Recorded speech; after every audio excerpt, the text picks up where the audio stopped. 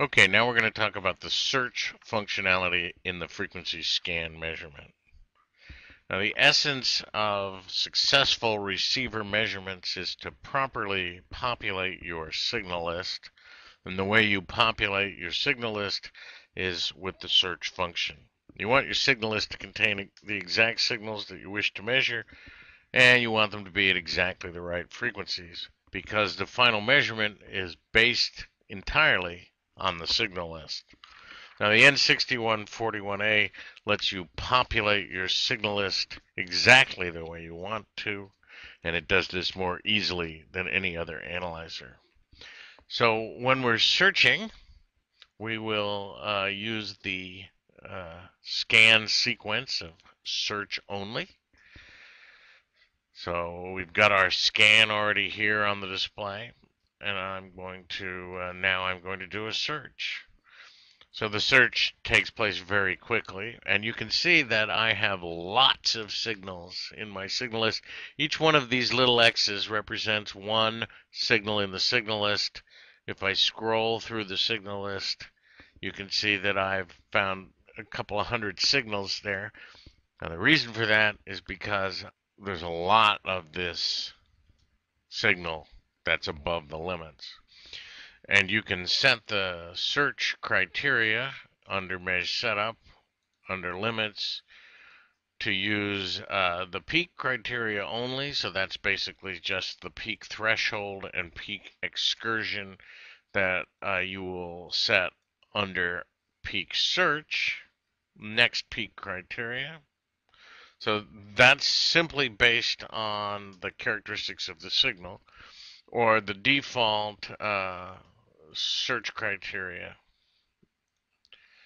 is uh, peak criteria and limits, and that uh, is only going to find signals that are above the limit. And some earlier versions of the code, the default was peak criteria only. So if you get a search that looks like this, where basically every single peak in the signal is being found, uh, go to meas setup, and under limits, make sure that your search criteria is set to peak criteria and limits. Okay. Now, because of that last search, I've got 700 signals in my signal list, so I'm going to go ahead and clear the signal list out. The easiest way to do this is under sweep control. Simply uh, hit clear list and start. Now, when you do that, you get this dialog telling you that it's going to delete all the data from the signal list. Now, since I'm using remote desktop, I can simply click on the OK uh, dialog button with my mouse, but if I'm doing this from the front panel without a mouse, pressing either of the enter keys will do the same thing as clicking on OK. So now it's done the search again using the peak criteria and limits. So I'm getting uh, fewer signals in my signal list. I'd actually like to reduce uh, the number of signals I'm getting by even more for the sake of this demo.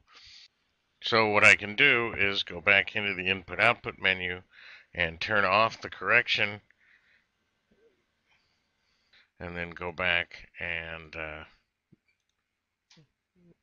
do a new scan. And then go back and do a search now. Again I'm going to clear out the signal list to do this and now I've got a smaller number of signals, which uh, is probably better for the sake of this demo. You may also find that uh, when you're using a margin, as you increase the margin, it will uh, increase the number of peaks that your search will find. Let's uh, redo that search. And now we've got uh, 80 some odd peaks. That's good for the sake of this demo.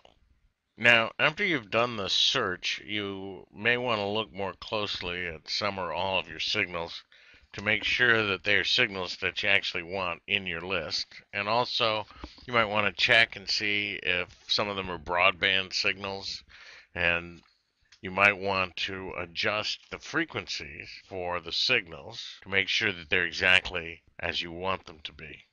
Now with the usability features of the N6141A and the level of integration between the receiver app and the Spectrum Analyzer app, you can gain signal insight more easily than with any other analyzer. So if I press Meas Setup, uh, the active function becomes the uh, the select signal function and what this lets me do is I can use the knob to roll through my signal list I'm turning the knob right now and you can see that the uh, the green X which shows the selected signal is changing as I roll through the signals and the other thing that's happening is the uh, the blue line, which represents the meter frequency, is also moving as I roll through the signals. Now this makes it very easy for me to roll to a particular signal and see exactly what the uh, instantaneous detector values look like at that signal. And you will notice that uh, the bar, the, the blue bar, the green X, and the highlighted green region within the, uh, the row of the signal list, they're all showing me that I'm on signal number 7 and the meters are showing me the the characteristics of the frequency at uh, signal number seven. So the way the uh, the three regions of the display in the frequency scan app are all tied together as you move through the signals makes it very easy for you to try to figure out what's going on with your signals. Now this is undoubtedly an FM signal, so um, I know that it's probably not at exactly 105 megahertz. It's probably more like 105.1 or 104.9. So I'm going to want to look more closely at this signal. Now when you're in the signal list, remember we had the marker zoom function. With the signal list, you also have the signal zoom function.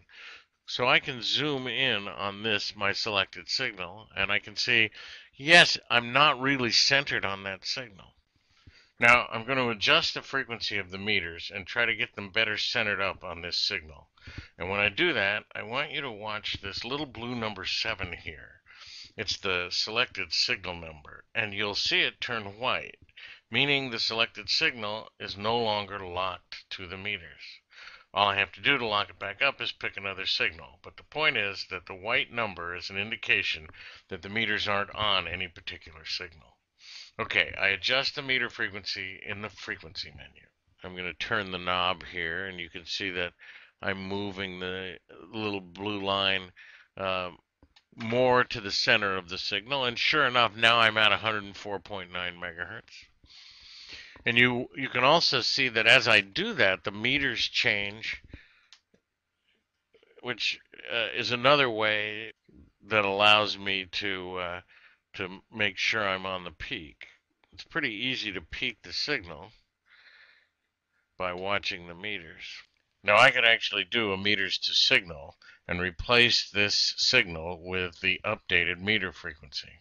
But another thing you can do with the X series is I can go to the spectrum analyzer measurement and get a look at this signal in real time if you go to mode setup and set your global settings so that global center frequency is turned on, now if I switch modes back to the spectrum analyzer, I'll be at that same frequency. You can see that the center frequency is the same as the meter frequency was when I left the EMI receiver application. And so if I set my span to uh, like a megahertz. Now I can see the FM station in question. And it's really easy for me here in the uh, spectrum analyzer to just uh, center that that frequency up. I can do it just by turning the knob. We can even uh, use trace averaging to make sure we've got the signal properly centered. And it looks like we've got a good center for this signal, and as we expected, it's an FM station around 104.9 megahertz. But now we have a much better uh, value for the frequency of this signal than we could get using a single scan in the frequency scan measurement because anytime you're dealing with a modulated signal, it's hard to get the center of the signal with a single scan. So we've used the spectrum analyzer to get a better look at the signal, and that's something you can do in uh, the X series. So now that we've got our updated frequency, watch what happens when I go back to the EMI receiver. Watch that frequency. It's the same as it was when I was in the Spectrum Analyzer app. And now I can, using the marker 2 function, I can replace the value of signal number 7 with this new updated value by doing a meters to signal replace function. And sure enough, there it is, 104.9 megahertz. That's the signal frequency that I really want to use when I'm making my final measurement. Okay, now I'm going to zoom out again and that pretty much wraps up our search module part one. So come back for a second module about searching, part two.